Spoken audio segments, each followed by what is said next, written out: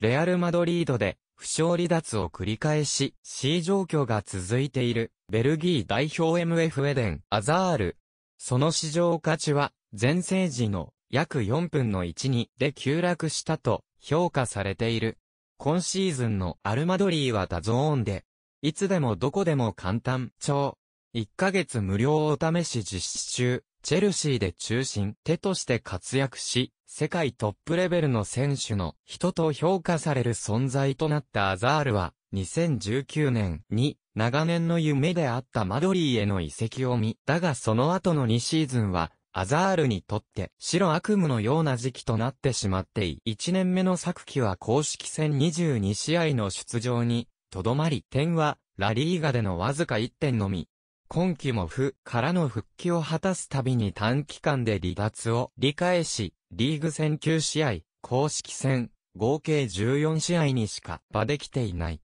大手データサイト、トラファーマークとの評価額元に、スペイン紙、アスが伝えたところによれ、アザールの現在の市場価値は4000万ユーロ、約51億5000円と評価されている。チェルシー時代に最も買った1億5000万ユーロ、約193億円と比較すれば、約4分1という金額だ。4000万ユーロという評価額はチェ・シー加入半年後の2013年1月と同額。その後の数年で大きく評価を上げ、チェルシーでの最後の1、まは1億5000万ユーロにまで達したが、マドリー渡るからの2年弱で大暴落となってしまった。現在、負傷のため離脱しており、夏に開催されるユーロ2020へ出場も危ぶまれる状況のアザール。ここからドリーで復活を果たすことはできるのだろうか。りょ